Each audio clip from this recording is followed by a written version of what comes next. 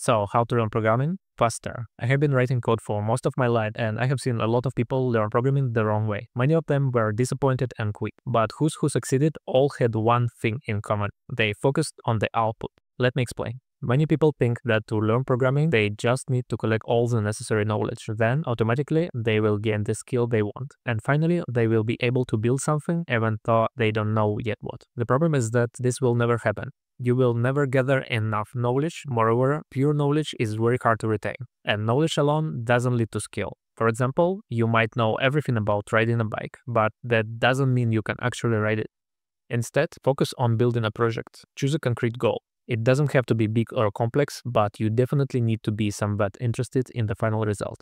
Soon, you will find yourself in a situation where you can simply sit down and create what you want because you don't have enough knowledge yet. That's when you turn to knowledge resources Google, Stack Overflow, AI tools, YouTube, books, and so on. Any of them will do.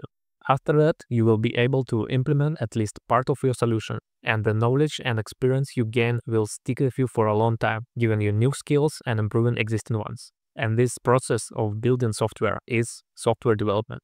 Yeah, that's basically the whole idea. Create software and you will learn programming. But let's slow down a bit here. While it sounds easy, it's not. That's why many people choose way to learn programming and end up learning nothing. So stay with me and I will give you 6 more tips on how to do it more efficiently, how to avoid common mistakes, and how to acquire the knowledge you need. And in the end, I will give you my top 7 project ideas to start with or to improve your current skills depending on your level. So the first thing you need to do is to choose a project. In the end of the video, I will give you some ideas, but you can choose any project as long as it is interesting enough for you. If you don't like the idea, you will more likely to quit before you finish and you will put less effort into it. To be honest, this is the most important part. As long as you like what you're doing, you will learn. Also, the project should be on the edge of what you can currently do. If it requires too much, you couldn't move forward. If it's too easy, you will not learn anything new. And finally, it should be splittable into smaller parts, so you can implement it step by step, seeing the progress and getting the motivation to finish. In programming, almost everything is easy splittable after you understand the basics. Okay, so when you work on a project, you will face a lot of tasks you will need to solve. Like riding a bike, you will need to learn how to use brakes, keep balance, accelerate, and also there is unimportant stuff, like what bike color is better, what brand to choose, what helmet or clothes to wear. You get the idea. Use the Pareto principle here and focus on the 20% of what give you the 80% of the result. Again, reality of software development is that you always face problems you never seen before, and you will never have enough knowledge to solve everything. Key to success is to be ready to solve them anyway, to create or find a solution. While passive learning, like watching a YouTube video or going through a tutorial, feels productive, it's an illusion. It will never give you the core skill, problem solving. You will need to stuck for a while and feel the problem yourself before getting an easy solution from any resource you choose. Even if you choose an easy project, you can still learn a lot from it. Just look for what you can do better. You can try to improve the code readability, performance, add little new features to old project, re-implement it in a different language you are trying to learn, etc. Focus on improving something, then you face a known problem. This way you will keep learning and polishing your skills. Okay, so at some point you will need to find the answers to your questions, solutions to problems you cannot solve, and theory you need to strengthen your skills. Where are tips of this? Rotate between different resources. While Googling everything is a good start, and it's a must-have everyday skill, it's mostly for quick answers, not in-depth knowledge for sure. Books are great for in-depth knowledge, but they lack practice. You cannot learn how to drive a bike from a book. They also are often outdated and not good source for quick answers. Tutorials are great to get started, but it's too easy to get into a tutorial trap.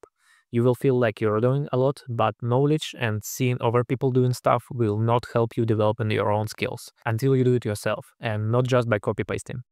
And finally, AI is pure knowledge on your fingertips, but its usage requires providing a lot of context, it lacks of creativity and vision that experienced developers have, and yeah, it often gives wrong answers. And please, don't delegate your thinking process to AI.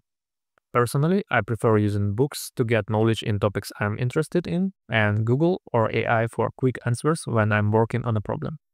I did a couple of tutorials in the past with complex projects when I didn't know how to even start, but when you do, don't forget to write your own code. Okay, and some extra tips for you. Remember, I think in programming it's the least important skill, so when you can, just delegate it. Use autocompletion so you don't have to remember method names, Use Google or AI to find some simple answers. Use notes to write down things you may need later. But when you need to remember, use spaced repetitions, flashcards, write it down, there are many techniques. Tracking tasks and progress. Use a task tracker like Trello, Notion, or my personal favorite, Quire, to track what you need to do and what you already did. Focus. Don't spread your time and attention between different projects, languages, or frameworks. Choose one and stick with it. It's okay to switch sometimes, but keep it to a minimum. Okay, and finally bonus, 7 project ideas for you. First one is a profile web page. Start with a simple single HTML CSS page, where you can put some info about yourself. After, you can convert it into a full website, add portfolio, blog, some JS features, etc. Tic-tac-toe. Again, start simple, create a game board, allow two players to make moves one after another, when you can add advanced features, AI to play against, or online matchmaking system. Simple calculator. Again, start with UI or make it a command line tool, ask for two numbers and an operator and calculate the result. After, you can add advanced features. Command history, operator priority, proper expression parsing, or even symbolic computation and graphing. Dice roller. Create a simple app that will ask for a dice type and number and then roll them. After you can work on improving user interface and experience, adding 3D dice animations, writing your own random number generator, etc. To-do app. Basically, create a tool you can use to track your own tasks. Simple version could just be a list with checkboxes, then you can make it store tasks in a file or sync it with a server. Add calendar, task priorities, reminders, etc. URL shortener. Again, a simple app what will take a long URL and create a short one, which will redirect to the original. After the basic UI, you can create a database, add user accounts, statistics, and even a browser extension. Flappy Bird. And finally, a clone of existing simple game. Start with a simple game loop and scrolling background. Then add a player character and implement physics and collisions. After, you can add a scoring system, power-ups, multiplayer mode, anything you want. Okay, and that's all for today. I hope you enjoyed your time here. Subscribe to get more videos like this, and I will see you in the next one.